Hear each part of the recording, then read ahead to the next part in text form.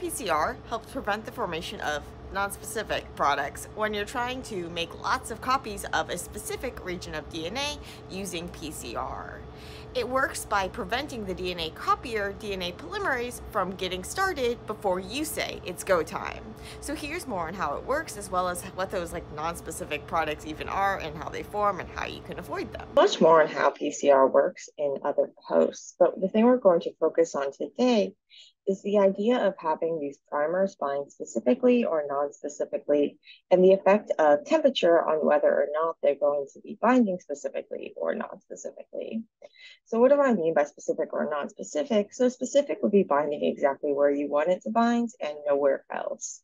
So typically when you're designing these primers, you want need to make sure that it's going to not bind to any other sequences on your template. So on the DNA you're trying to copy, you want to make sure that the primer is only going to bind in one place. And you can use tools like BLAST to check for other binding matches. And remember that if you are, say, um, trying to amplify a plasmid that was grown in bacteria, you also, or bacteria, and you're doing like colony PCR, you want to make sure that your primers aren't going to bind somewhere in the bacterial DNA. Um, so you want to make sure it binds only where you want it to. Um, and so the way that you can do this is often when you make the primers longer. So um, the longer things are, the more fewer, the less chance there is that they're going to bind something just like by accident, like accidentally match something. Um, so typically, just like for a typical PCR, a primer might be about 20 nucleotides long. Um, another thing that determines how strong they're going to bind is going to be the um, GC content. So G and C are going to bind more tightly than A and T. Um, and then, so if you have more GCs, you're going to have tighter binding. And when we talk about tighter binding, this is usually going to be reflected in a higher TM, so a melting temperature, um, which is basically the temperature at which like half of it is going to kind of be bound versus unbound. And so at a high, you have a higher TM, you can go to a higher temperature without it without this strand, without those unbinding. So if you have less specific things, they're going to have a lower TM, they're going to come apart at a higher temperature. Um, so I mean, like if you're at a higher temperature, they're going to be coming apart. Whereas if you're at, at that higher temperature, but still below the temperature a higher of a higher of a more specific product that has a higher TM, well then that higher TM is going to mean that the that more specific, that tighter binding product is still going to be bound even when the other ones are unbound.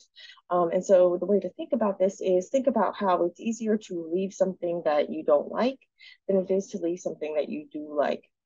So if you are, say, in the middle of a really, really great movie and then you have to go do something, it's going to take a lot more energy in order to like convince yourself that, yeah, I really need to go get off the couch and go do that thing. Whereas if you don't like the movie that much, then maybe you don't need that energy to get up and go. And you're like, yeah, I'm ready. Um, and so basically, if the DNA molecules have enough energy um, then they can overcome attractions to one another. And so, if the tighter they're bound, the more they like each other, the more energy it's going to take in order for them to come apart. Um, and so, you can think about it at a lower temperature, they're kind of going to settle for less ideal matches, whereas a higher temperature, they're going to have the energy to go find their soulmate. And it's not really like that.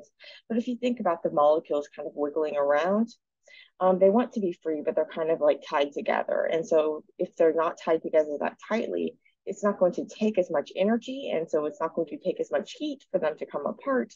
But if they're bound really tightly together then it's going to take more heat and so they're going to um, require a higher temperature in order to come apart and they're going to stay together at a lower temperature.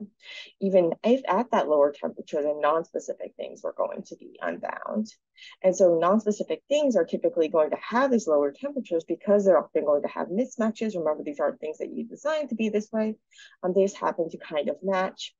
Um, or if you have regions of your primers that have regions that match, those are typically going to be smaller regions um, than the full length of a primer that you might design in order to bind to um, your template. The primers, even though and they might only have these short stretches that bind, they're going to have the advantage that at the lower temperatures, they're still going to have started off as these single stranded DNA rather than your template strand, which is going to be double stranded and needs to be melted, so needs to be um, heated up to come apart in order for those primers to bind. Um, with the primers themselves, they're going to start off single stranded, and so they can bind upon themselves. Um, you can get these like hairpins, or you can get them binding to one another. And so these products, if you get like a hairpin, this is going to block the primer from binding where you want it to. And if you get these primers binding to copies of themselves, these primer dimers, you can get these little amplified stretches. Um, we call these like primer chimeras. Um, and so these things are going to be favored at a lower temperature because at the lower temperature, they're still free and because they're not going to have the access to those um, better specificity products because those are going to mostly be hidden. Um, and so the primers, dimers are going to be a major problem at the lower temperatures, as well as some of the non-specific products that you can get if regions of the DNA are accessible. Um, and so these are problems that we want to avoid and Hot Start PCR is going to help us avoid that. So if you think about setting up a PCR reaction, especially in the olden days before we had these like um, master mixes where you could buy where everything was kind of like pre-mixed together except for your DNA. Um, and so now you just add this to your DNA and your template and your primers and you're off to go. Um, but even that can take a while. Um, if you have a lot of different things you're trying to set, lots of reactions you're trying to set up, you want to make sure that you're pipetting all the right stuff into all the right tubes. Um, so you want to make sure that you're like taking your time and being focused. But if you take your time um, and your DNA polymerase is starting off working, then you're going to have your reaction starting in the first tube while you're still trying to um, pipette into your last tube. And remember when you're having the reaction start, when you're setting things up, well, that reaction is going to be happening at those lower temperatures where the less specific products are going to be um, able to form. And so we don't want that to happen. We want the DNA polymerase to not be able to be active until we actually have all of the reactions together. We have them in the machine, and the machine is at that point in the PCR cycle where we should be giving product formation. So it's in that extension step of the first cycle. Um, so that's when we want the polymerase to be active. And so that's where those Hot Start polymerases are designed, um, the chemistry and things are designed so that they become active at that point. So and before without hot start polymerases you have to add the polymerase at like the very last minute um, and even still you still because if you have say 96 well plate and you're adding the polymerase to like each well and even if you're using a like a multi-channel which i'm not exactly sure how you would use with the um, dna polymerase unless it's part of a master mix um, you're basically going to have some of the tubes would get the polymerase before the last tubes. And so um, typically you would be doing this like on ice to try to prevent the polymerase from being active even at those lower temperatures, you can still have a little polymerase activity, problems like this. And then when you stick your tube in the cycler and the cycler has to get up to the temperature, and then during that time, you can have things start to ramp up.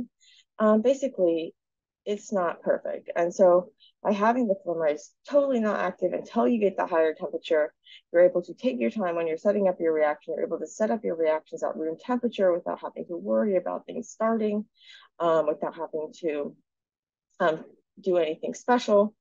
And then your reaction hopefully won't start until you're ready. And hopefully then you're going to be getting the specific products and you're not going to have those non-specific products that got that head start in being react and being copied and therefore started getting copied and taking up a lot of the copying machinery as well as um, then generating a lot of non-specific products that then you have to deal with later on. Um, and so a little more about how these different methods work. So some of them hide the polymerase and some of them hide things that the polymerase needs. So a lot of the methods rely on using antibodies to actually bind to the polymerase and inactivate it. So antibodies are little proteins that recognize other things. Um, we often think about antibodies in the context of immunity because antibodies can be made by our immune system. Um, basically, these B cells, these immune cells, mix and match different parts of um, genes to make different antibody proteins. Um, and then the proteins just, they do this randomly. And then the ones that happen to stick to things um, that are foreign and not stick to things that are your own bodies, um, these get selected for, and so you make more of them. Um, and so in the lab, um, scientists can get antibodies to be made against all sorts of different things. and you can get antibodies made against DNA polymerase. Um, and these antibodies, if they bind to a place in the polymerase that are going to inactivate it, well, now the polymerase can't do its thing. Um, and these antibodies, they're going to these little proteins, they're not as hardy as the DNA. And so the DNA, we can get it up to those really high temperatures and the DNA strands will come apart. So we say they denature. but the strands are still staying strands and they're still able to stick back together and do all this stuff. Whereas if we heat up the protein, we heat up these antibodies. Now they actually, when they denature, they can't fold back as they can't fold back up, um, and so these are like permanently deformed. Um, this is going to make them fall off, and so the polymerase can start working. So that's one method. Um, another method actually hides the polymerase, such as sequestering it in wax beads. So you kind of just hide it in this wax, and then when the wax gets hot, it melts up and releases it. Other methods um, use things like blocking the DNTPs, so blocking the, the nucleotides. So these DNTPs, so these DNA letters, they get added together from the five prime to a three prime, or um, the three prime, the free, you have a free three prime of the one of the growing chain, and then the free five primes, so these phosphate groups of the incoming nucleotide, um, and those are going to link together. And so you need this brief third prime OH in order for this reaction to occur.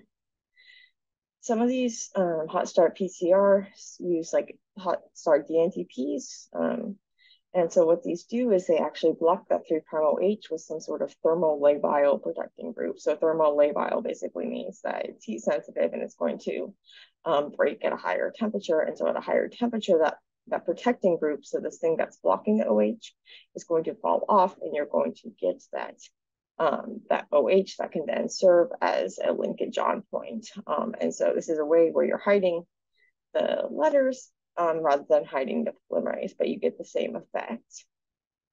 Um, and another method um, actually uses like high um, phosphate, so you get like magnesium phosphate precipitates that are going to dissolve at a higher temperature um, because the, the, polymerase needs that magnesium in order to work. And so without the magnesium, you hide the magnesium, then it can't get to work. And so these are a few different strategies that are used in order to prevent polymerase from getting going until you want it. And so remember that the reason why you want this is because you want only not you want the most specific products to be formed. You don't want those non-specific products to be forming before the reaction that you want to happen is actually has a chance to happen.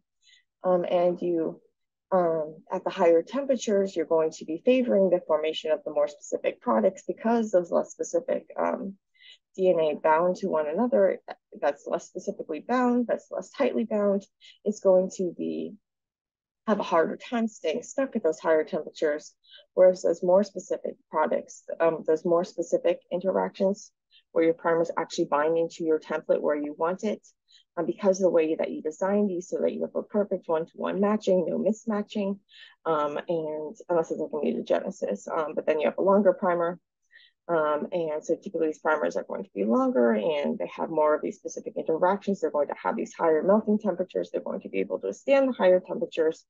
Um, and at those higher temperatures, the less specific things, the shorter pieces, the things with a larger mix matches, those aren't going to be bound to, um, they're not going to be able to stay bound because um, they have enough energy to break free from those weaker interactions.